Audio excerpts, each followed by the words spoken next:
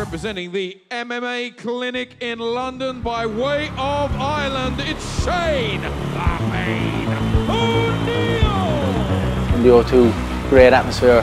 Shane O'Neill is a tough, tough lad. Now training with Chris Carley. Can't rush in against someone as skilled as Shane O'Neill. But Shane O'Neill is down.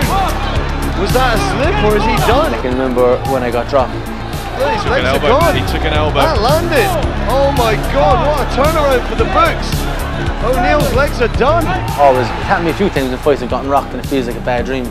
But like, is this actually happening? And then a few seconds later, to have the referee waving it off, yeah, it was unbelievable. You can't walk forward against the man of O'Neill's quality, but oh! goodness me, one comes straight back at him. Oh! The ebb and flow to this contest, oh! absolutely Oh!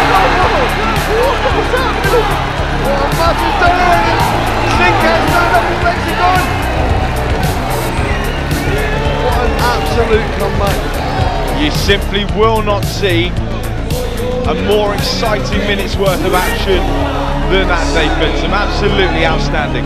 Really entertaining fight, the crowd loved it. Got fight of the year, which I was very happy with. Uh, my opponent for the next fight got knockout of the year, which I came second to.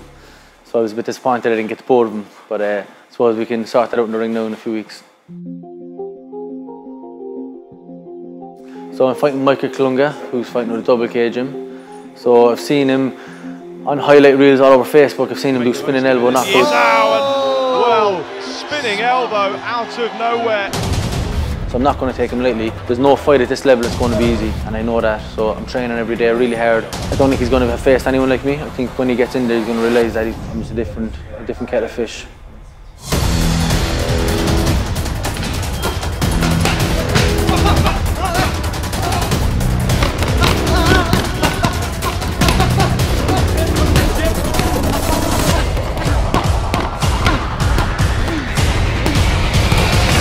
Fight, yeah, anything can happen. I love fighting. I love getting in there. I love brawling. So if it comes to that, if it comes to getting hit, it doesn't bother me.